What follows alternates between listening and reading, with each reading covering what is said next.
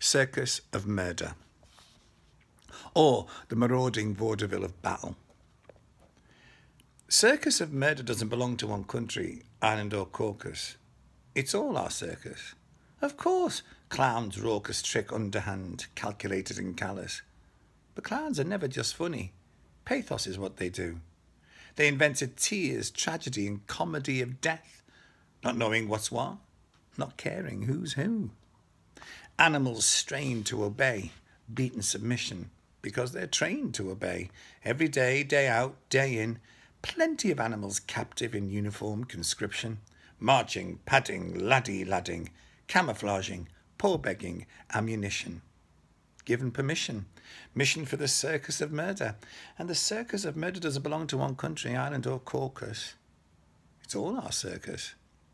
Big top toppling down, baggy silk mushroom cloud. We're at war, destroying someone else's big top, and we'll keep destroying till ours is the last big top. We all know ours is the best big top. Yup. The big top stopping, topping all the other big tops, popping up. Because the circus of murder doesn't belong to one country, island, or caucus. It's all our circus. See, the pretty girls, magicians, won't rest till the last lion tamer's tamed, picture framed and posturing, till the bearded lady cries in sequin costuming, cries for her children, her community, her freedom, her lovers, lost unity.